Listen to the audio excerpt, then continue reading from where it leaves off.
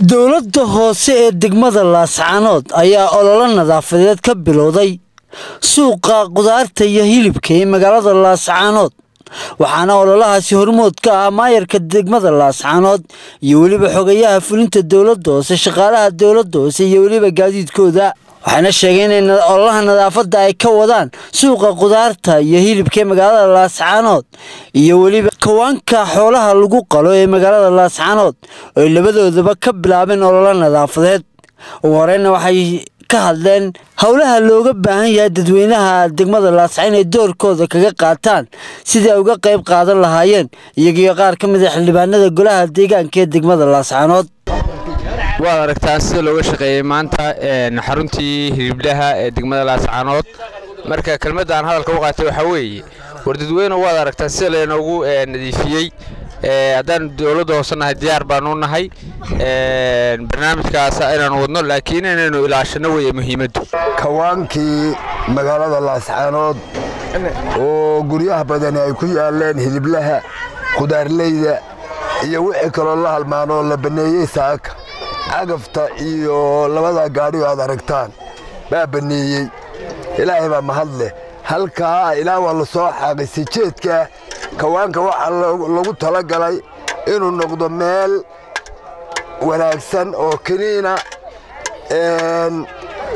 madaxdii degmaduna waa kuwa gudoomi aad u wada jeedaan waxaan wadnaa kiliinin kambeynkii oo gebagaba ah waxaan ku soo gebagabaynaynaa kawaankii hilibka iyo gowracii magaalada inteedii kale waanu kiliin garaynay hadday waddo ahayd iyo haddii ay xaggii nadaafaddaba ahayd. Waxaan shacabka reer laascaanood ku waxaynaya horta goobahan aanu kiliin garaynay waxaanu keenaynaa alaabtii loogu talagalay ee qashinka lagu ururinayey haddii ay tahay kuwii gaaduudka qaadayey iyo boostooyinkiiba mar labaad waxaan shacabka leeyahay ilaashada nadaafadiin halkan ugu baaqayaa waan kaga faa'iidaysanayaa midiya inay cashuurta dadweynuhu bixiyaan oo nala xisaabtamaan oo marka ay cashuurta bixiyaan waxay helayaan adeegii aasaasiga ah oo dhammaystiran waa mahadle.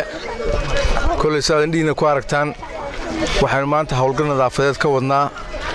Kawaanka weyn ee magaalada laascaanood kaweenkaa maanta saad looga shaqeeyey iyo sida qashinkii looga nadiifiyey waad aragtaan haamihii qashinkana waan soo dhigaynaa mar dhow. Ciidankii nabadgelyadana waan keenaynaa. Dee qofkii lagu qabto halkaa qashin ku soo celiyow ogow ganaax baad mutaysanaysaa hadhow layma sheegin male waa lagu ganaaxayaa. Kawaankii gawracana waan soo nadiifinaynaa haddii lahaydmo hooyanaa ololuhu nugu jiraa meel kastoo qashin yaallo magaaladaana haddii lahaydmo intaannu qaadna mooy inta kale waan ka dhammaynaynaa dadweynu magaaladiinna idinkaa le nadaafaddiinna ilaashada kolley dee diinta waa taqaanaa nadaafadda weymeenka barhkeed caafimaadkiina ku jira.